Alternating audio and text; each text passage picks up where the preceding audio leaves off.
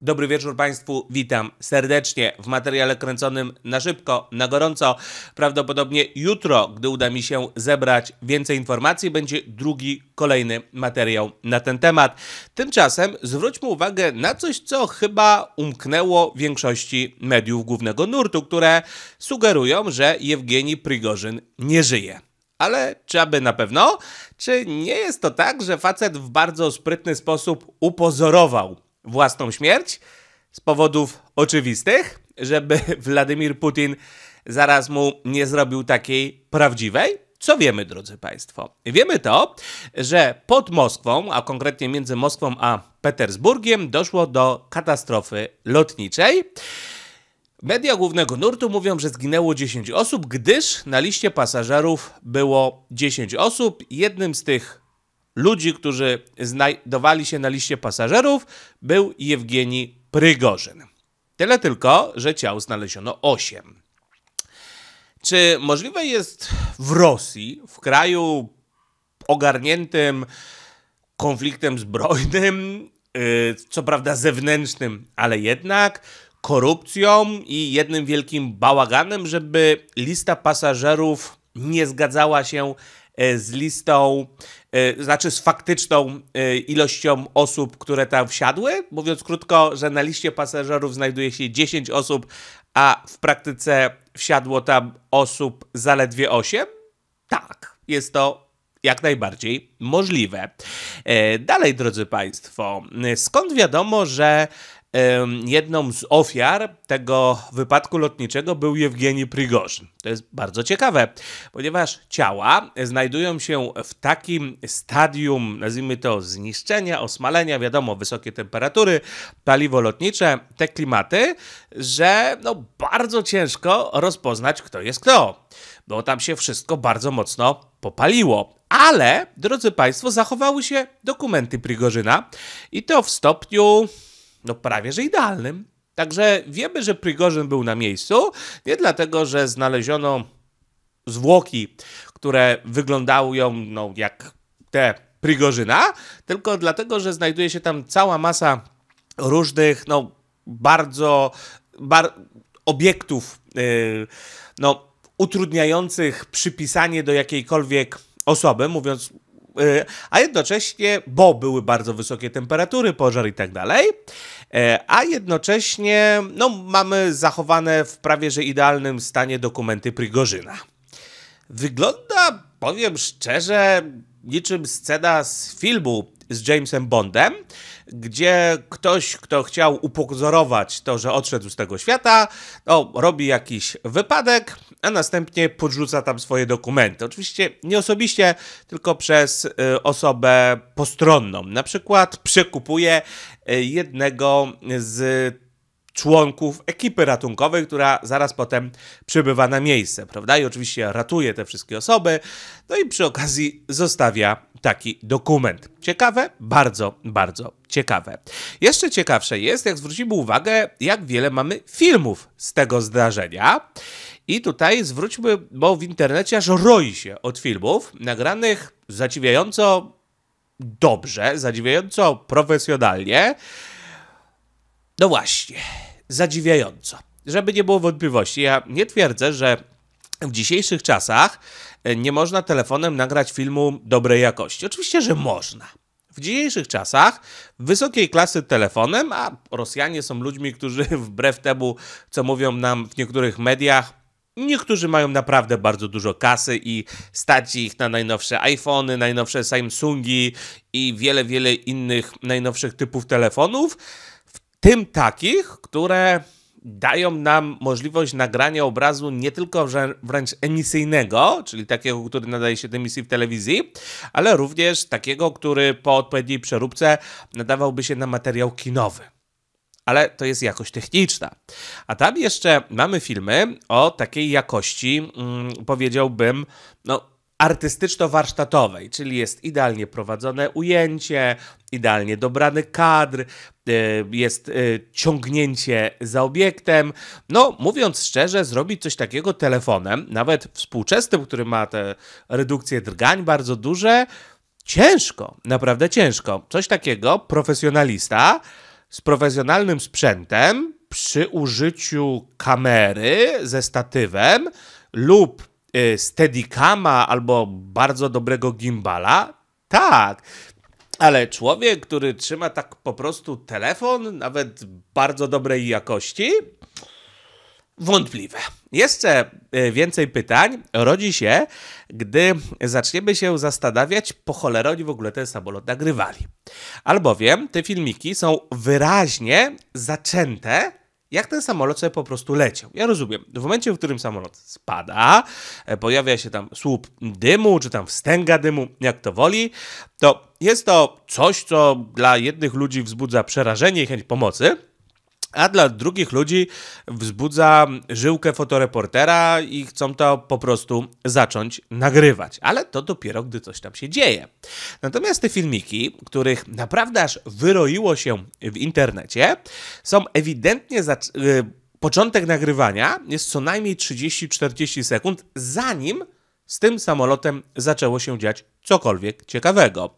Mamy więc sytuację, w której co najmniej kilkanaście osób z różnych ujęć postanowiło kręcić zwykłą awionetkę, która konkret, w żaden konkretny sposób nie jest interesująca. Po prostu zwykła awionetka, jakich tysiące latają nad tymi miejscami, na których one latają i nie wzbudzają żadnego zainteresowania. No i taka awionetka, która generalnie nikogo nie interesuje, nagle wzbudziła zainteresowanie bardzo wielu nagrywających, którzy dysponowali albo super ponadprzeciętnymi umiejętnościami nagrania idealnych ujęć zwykłym telefonem, albo zupełnie przypadkiem przychodzili ze statywami, steadicadami e, lub też e, gimbalami i postanowili tak wysokiej jakości sprzęt użyć do nagrania zwykłej, nikogo nie interesującej awionetki i strzelili bingo. Albowiem ta awionetka tak po prostu w pewnym momencie zaczęła spadać. I z filmu, który nie wiadomo po co nagrywali, nagle nagle wyszedł film życia. No to jest niesamowity przypadek. To zupełnie tak jak z tymi koncernami farmaceutycznymi, które w marcu 2023 roku opracowały, w zasadzie skończyły badać e, preparaty przeciwko e, ptasiej grypie, ale dla ludzi. I skończyły badać, i już teraz mogą zacząć wprowadzać te preparaty przeciwko ptasiej grypie dla ludzi do, do obrotu, do sklepów, czy też rządom je sprzedawać. I 2-3 miesiące później nagle gurchnęła informacja, że ptasia grypa przeniosła się na koty i prawdopodobnie z kotów przeniesie się na ludzi. Wiecie, ta ptasia grypa to był temat, który był medialnie grany jakieś 10 lat temu.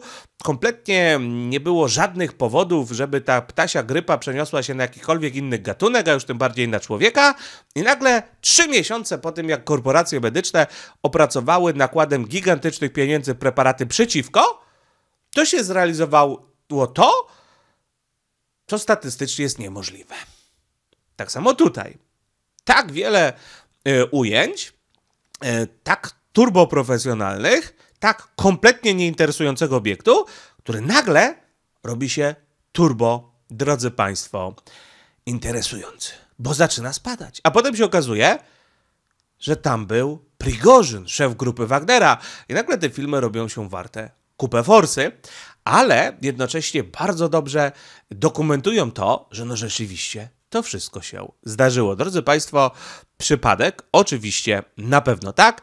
E, zanim sobie porozmawiamy na temat tego, czy Prigorzyn, że się tak wyrażę, mm, rzeczywiście miał wypadek, czy może pan Putin e, postanowił jednak mu ten wypadek zrobić, a może pan Prigorzyn sam sobie zrobił udawany wypadek, e, zanim pan Putin zrobiłby mu taki udawany wypadek, to przeczytajmy sobie jedno z mediów głównego nurtu, żebyście zobaczyli, co oni tam, e, drodzy państwo, piszą. Mm. Pan Piotr Białczyk Interia wydarzenia, katastrofa rosyjskiego samolotu. Jewgenij Prigorzyn na liście pasażerów.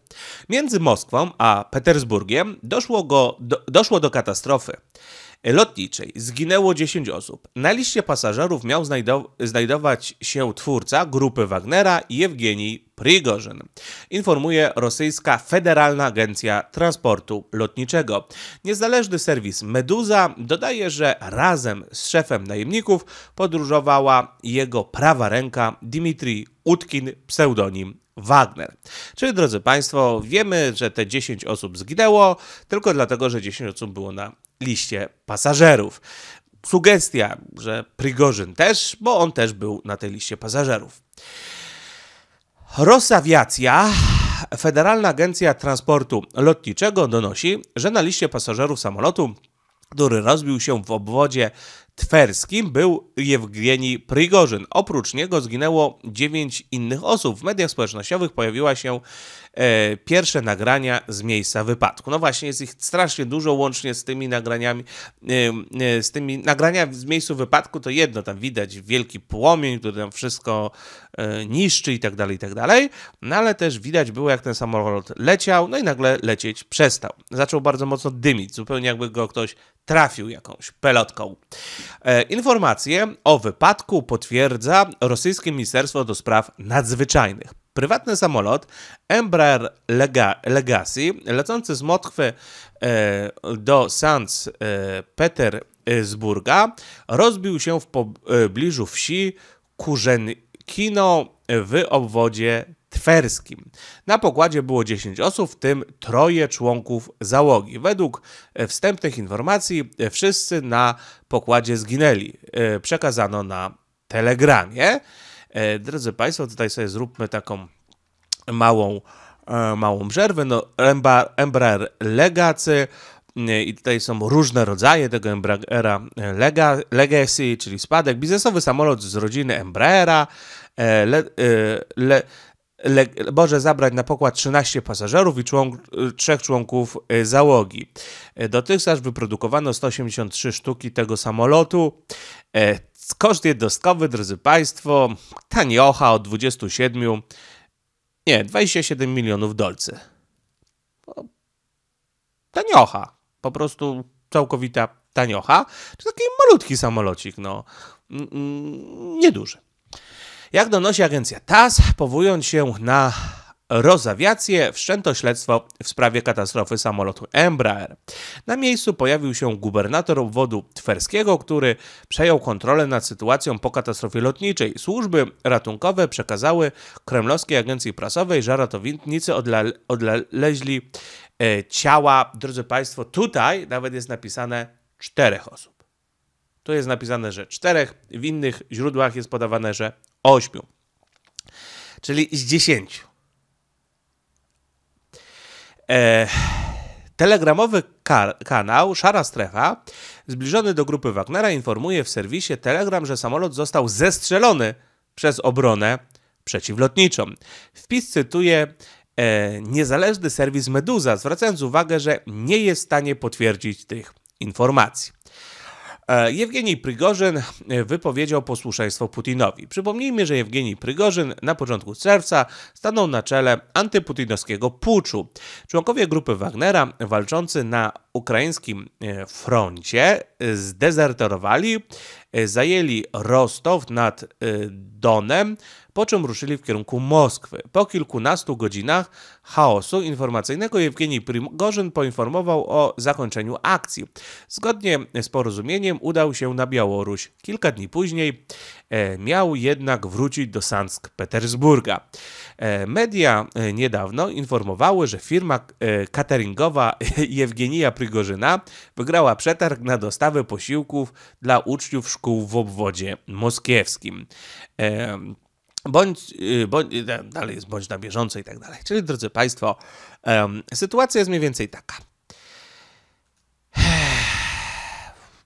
Zakładając, że rzeczywiście dostał pelotką, a rzeczywiście na tych filmach, mm, z których widać, to wygląda tak, że rzeczywiście jakby go zestrzeliła obrona przeciwlotnicza. No to mamy tak naprawdę dwa możliwe scenariusze. Pierwszy scenariusz to jest taki, że wierzymy w to, że cały ten pucz y, Prigorzyna, mm, znaczy jest kilka możliwych scenariuszy, ale na początku są dwa rozwid- jest rozwidlenie w, dwie strony. Albo wierzymy, że ten cały pucz Prigorzyna mm, to była prawda, że on naprawdę się zbuntował, ale potem jednak uznał, że, mm, że że się z Putinem dogada, a druga, druga znaczy, a alternatywa jest taka, że ten pucz Prigorzyna to od samego początku był, był fake. Że to nieprawda, że, że, że to po prostu lipa. E, no to, no to zobaczcie, jakie są, jakie są mm, powiedziałbym, no, logiczne wnioski. Już do tego dodam, że ostatnio bardzo dużo mówiło się na ten temat, że jednak pucz Prigorzyna to był fake. Te, ci tak zwani eksperci od wojskowości, którzy najpierw mówili, że ten pucz był prawdziwy, że ten Prigorzyn może zająć Moskwę, potem zaczęli powoli mówić, że to fake. Po tym jak e, ten Prigorzyn zaczął znowu się z Putinem dogadywać, jak Wagnerowcy zaczęli przemieszczać się na Białoruś, gdzie zaczęli realizować cele dobre dla tej Rosji i tak dalej, i tak dalej. I mi się natomiast od samego początku wydawało, że to jest jedna wielka ustawka, która między innymi miała na celu przerzucenie na terytorium Białorusi wojsk podporządkowanych Kremlowi, czyli właśnie Wagnerowców, którzy formalnie są z tym Kremlem niezwiązani.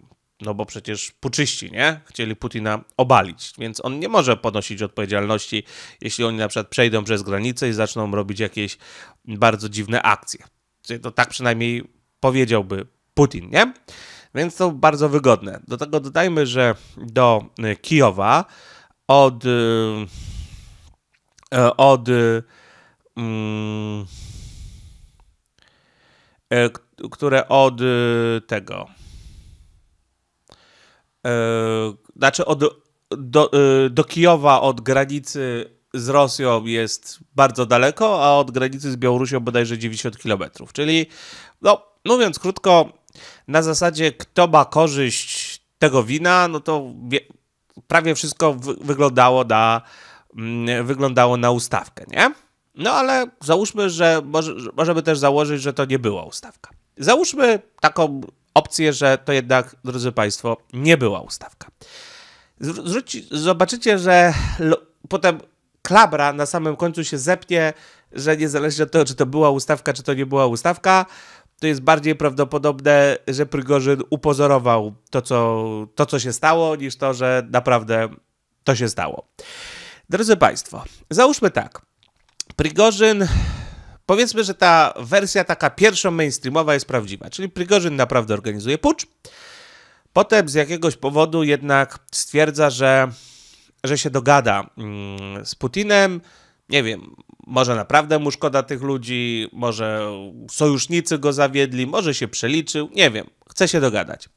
No i rzeczywiście na, w ramach tego dogadywania się tam e, wyjeżdża, mm, wyjeżdża tam do tej, e, na tą Białoruś, potem miał wyjechać do Afryki, do różne rzeczy z nim się dzieją. Można założyć, że facet nie jest idiotą. Mi się wydaje, że w ogóle co do ludzi, którzy osiągnęli pewien status społeczny, można wiele o nich powiedzieć. Na przykład, że to psychopaci, że są całkowicie bezwzględni, że no, wiele, bardzo wiele strasznych rzeczy. Oczywiście nie, nie w stosunku do wszystkich jest to prawda, ale o wielu z nich można powiedzieć bardzo wiele, bardzo okropnych rzeczy. Ale wydaje mi się, że o, o żadnym nie można powiedzieć, że to są idioci. Co innego o człowieku, który, nie wiem, ograniczył, e, odziedziczył majątek po rodzicach, no to to może być kompletny kretyn, a i tak jest bogaty, bo, bo jego rodzice go ustawili. Ale człowiek, który sam do czegoś doszedł, nie może być głupi, bo mu się to po prostu nie uda. Zwłaszcza w takich sprawach z pogranicza resortów siłowych, inne tego typu rzeczy. Mówiąc krótko, gdyby Putin, y, Wagner, znaczy Putin, Prigorzyn czy Baćka byli ludźmi nieinteligentnymi, to bardzo szybko straciliby życie. Więc można śmiało założyć, że Prigorzyn był inteligentny.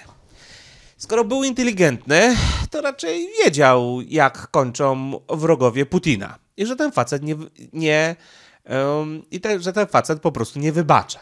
W związku z tym, za sam fakt, że mu się postawił, wcześniej czy później spotka go jakiś wypadek, albo na przykład y, dostanie depresji, czyli mówiąc krótko, ktoś przyjdzie, zrobi mu krzywdę i, i upozoruje samobójstwo, no inne tego typu rzeczy. Y, nie wiem, nagle dostanie drinka z jakimś y, nowiczokiem, czy, czy czymś podobnym. No, wiedział, że, że Putin go wykończy. Jaka jest jedna, jedyna szansa, żeby Putin go nie wykończył? Sprawić, żeby Putin wie, wierzył, że wykończył się sam. Lub w ramach porozumienia z Putinem pozwolić Putinowi wyjść z twarzą z całej tej sytuacji i samemu upozorować własne odejście z tego świata, tak żeby Putin mógł mówić, no przecież on już nie żyje. Rozumiecie o co chodzi? Putin jest no, formalnie on jest wybra wybrany w demokratycznych wyborach, ale wszyscy wiedzą, że mu bliżej do dyktatora niż do człowieka wybranego w demokratycznych wyborach w normalnym kraju. On jest wy wygrywa te wybory, bo de facto nie ma konkurencji. Wiecie, gdybym ja startował na prezydenta Polski i generalnie nie miał żadnej realnej alternatywy, bo no bo inni konkurenci trafialiby do łagrów albo w jakieś inne miejsca, też pewnie bym został prezydentem Polski. No ale nie dlatego, że wszyscy mnie lubią i kochają, tylko właśnie dlatego, że nie miałbym konkurencji, nie? No i tacy ludzie, którzy są takimi dyktatorami czy quasi-dyktatorami, mają tą cechę, e, że no, oni muszą trzymać wszystko twardą ręką. I Putin nie może pozwolić, żeby zaistniała taka sytuacja, że e, ktoś mu się postawi i przeżyje. W związku z tym, gdyby Putin chciał się dogadać z tym Prigorzynem i chciał mu pozwolić przeżyć, to prawdopodobnie by mu powiedział tak, ale musimy upozorować to, że ty nie żyjesz i ty znikniesz, chłopaku. No i, drodzy Państwo, właśnie idealnie taka sytuacja, że leci sobie samolot, Masa ludzi to filmuje, w związku z tym jest to pokazywać w mediach, bardzo duży wypadek. Potem znajdują na miejscu dokumenty Prigorzyna, więc mówiąc krótko, taki typowy Rosjanin, czy w ogóle typowy człowiek od razu stwierdzi, że rzeczywiście Prigorzyn nie żyje sposób, w jaki e, on odszedł z tego świata, niesamowicie widowiskowy, no, na terenie Rosji, no, kto mógł odpalić pelotkę, jaka obroda przeciwlotnicza mogła zniszczyć awionetkę, czy jak to woli, prywatny odrzutowiec? No pewnie Putin. I po wszystkich, którzy chcieliby go naśladować, idzie fama, idzie bladych strach. No kurde, rzeczywiście e, tak wyszło, że tak wyszło, że, że, że nie żyje. No. Nie wolno się stawiać Putinowi, bo jak ktoś się stawia Putinowi, to bardzo źle kończy. Ale jest też, czyli to jest wersja, w której e, to jest wersja, w której e, on, mm, on naprawdę e, on naprawdę zrobił ten on, on naprawdę zrobił ten pucz. Jeśli zrobił naprawdę ten pucz, to prawie, to jeśli nie jest bardzo niemądry, to wiedział, że musi upozorować swoje odejście z tego świata lub nawet upozorował je za zgodą Putina. No to teraz druga opcja, że ten pucz od samego początku to była ustawka. Ponieważ chcieli, e, ponieważ chcieli przerzucić te wojska i tak dalej, i tak dalej. Tym bardziej musieli upozorować odejście z tego świata. No, jeśli to była ustawka, e, no to dlaczego Putin miałby likwidować Prigorzyna? Nie miałby żadnego powodu, żeby go likwidować, ponieważ to byłby jego człowiek, który z nim się dogadał. Ale musiałby pokazać ludziom, którzy nie wiedzieli, że to jest ustawka, że jednak się go pozbył, że jednak jest bezwzględny jednak nikt nie może tutaj e, sobie z nim pogrywać. To jest jeden. Więc, prawdopodobnie, więc musieliby zrobić taką instytucję. Druga rzecz. Prigorzyn w momencie, w którym zniknie oficjalnie z radaru, jest dużo bardziej przydatny dla Putina. Dlaczego? Jedna prosta operacja plastyczna i nagle może się objawić, to znaczy nie jedna, kilka, i nagle może się pojawić na przykład w Afryce, nadzorując rosyjskie operacje, jako zupełnie inny człowiek pod zupełnie innym nazwiskiem. No drodzy Państwo, może? Może. Także powiem szczerze, dla mnie cała ta sprawa śmierdzi. Dopóki nie zobaczę jakichś ostrych dowodów, że tamten Prigorzyn rzeczywiście był, że rzeczywiście znaleziono jego ciało, e, że te informacje zostały potwierdzone przez jakieś niezależne źródła, że tak, to rzeczywiście e, rzeczywiście ciało Prigorzyna, to powiem szczerze, dla mnie ta sprawa jest bardzo, bardzo um, bardzo um, taka, jakby to powiedzieć, nie tyle creepy, co grubymi nićmi szyta, nie? Oczywiście jest możliwe, że rzeczywiście Prigorzyn to, za przeproszeniem, idiota, który naprawdę zrobił prawdziwy pucz, myślał, że się naprawdę dogadał e, z Putinem, bo i że Putin naprawdę mu daruje, no a Putin zachował się tak, jak się zachowuje zawsze. No, jest to możliwe, ale no, powiem szczerze, no ja w to nie wierzę. A co wy na ten temat myślicie? To proszę piszcie w komentarzu. Pozdrawiam, trzymajcie się. Do zobaczenia. Pa!